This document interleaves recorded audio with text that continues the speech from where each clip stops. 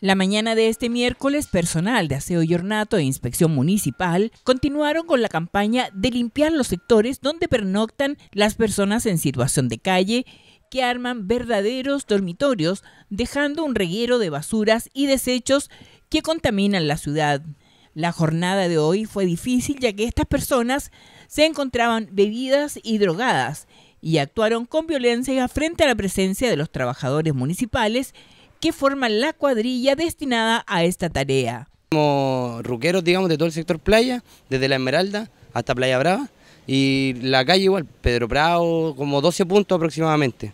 Llenamos un camión que son como 14 cubos, 14 toneladas más o menos. Sí, los ruqueros de ciudad estaban hoy día bien violentos, se notaban que estaban de amanecidos y habían consumido droga, copete ya. A la hora, a esta hora de la mañana ya estaban, digamos, arriba de la pelota, como se dice. La finalidad de estos operativos responde a la petición de organizaciones vecinales que se ven afectadas por la presencia de personas que hacen sus necesidades biológicas, beben y se drogan en la vía pública y en muchas oportunidades cometen actos reñidos con la moral y las buenas costumbres.